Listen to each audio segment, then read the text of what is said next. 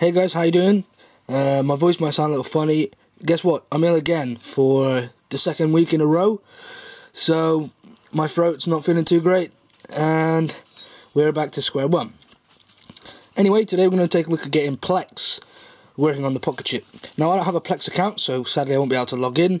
But if you have a Plex account and you have a paid subscription, then this should sort you out for Plex on your Pocket Chip. First things first, you're going to want to do um, what I did a couple of weeks ago is install Kodi. I will link that video down in the description below or annotate it on screen now, so please do click that if you haven't done so already. And you need to download a zip file, which will also be linked, and whack it onto a USB stick. Secondly, you're going to want to go into the terminal, and you're going to want to type in Kodi. So, like so, bish bash bosh, and Kodi should load up. Whack in your USB stick, and hopefully we should be able to do it from the USB stick, but if not, we may have to copy the files over from the stick and then do it straight from the device. But actually, after a few seconds, Kodi loads up. For some reason, that doesn't look pushed in right. There we go. And once Kodi loads up, we're going to want to go into System. We're going to go on to go into Settings. And we're going to go into Add-ons. And then we're going to want to go into uh, OK whatever. Remember, we can use touchscreen or we can use the arrow keys. We're going to want to go to install from zip file.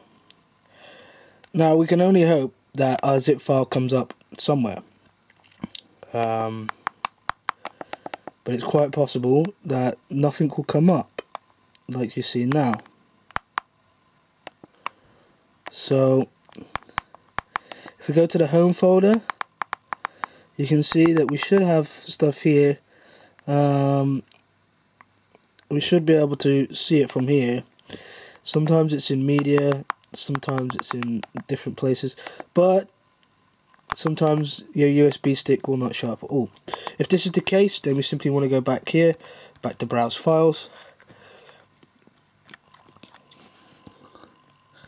once we've clicked on browse files we want to go to the 4.2 gigabyte volume which is down the left hand side. And we want to go on to where that zip file is which is the only one here which is ZQ we want to highlight it and then copy it. If we can like sorry I'm trying to hold the screen. We should be able to drag and drop like so.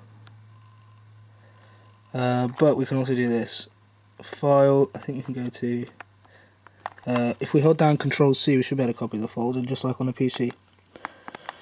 And then go to desktop, go to home folder, and then paste it in here maybe. And uh, overwrite. And it should be now in the home folder. It's just done. I, I am sucking on a sweet by the way, if you can hear it, I'm, I apologise. Right, so now that that's done, we know that's there, we can then press Control Tab, and we should be able to go back into Kodi. So if we press Control Tab, there we go. Uh, we come back out of here, we go to Install from Zip File again. And then, it should show up here. Uh, I don't think that's it, but let's click on that. Okay, it actually showed up at the top now as 2984 yada yada yada. So that may happen to you as well. And if we go down, script plex zip is right here.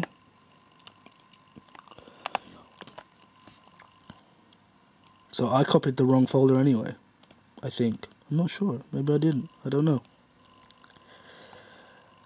And once we've done that, we can uh, install from a repository. It doesn't come up because I don't think it is a repository. You know, it's just a script but Plex is now enabled so we should be able to go back to videos to add-ons and we should be able to see Plex and when we click on Plex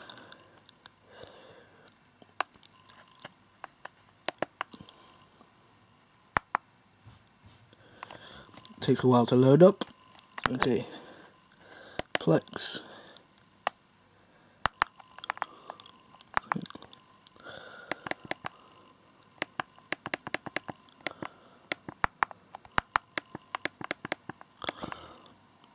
Okay, I'm not sure what's kind of happening here.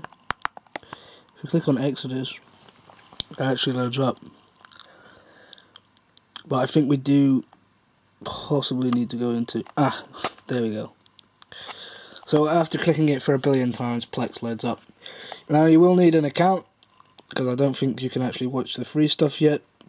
This is currently in like a alpha stage, if you will, and eventually it will come into beta phase uh, once that's all been ironed out. But because I've clicked on it so many times now and didn't wait because I'm impatient, it's going to do this about 50 million times before we get to a login screen. But anyway guys, if you enjoyed the video, hit the like button. If you didn't hit the dislike button, this is how you get Plex on the Pocket Chip currently. If uh, a new way comes up, then I will get that on here and show you guys. But hopefully this video helped you out if you are a Plex user and you want to watch it on your Pocket Chip. Like I said, if you liked the video, hit the like button. If you didn't hit the dislike button, please stay tuned for the giveaway that's happening on my channel, as we've only got a couple days left, and then I'll be announcing the winner. So, if you want to head over there, that will be linked below as well. And I shall see you soon. Cheers.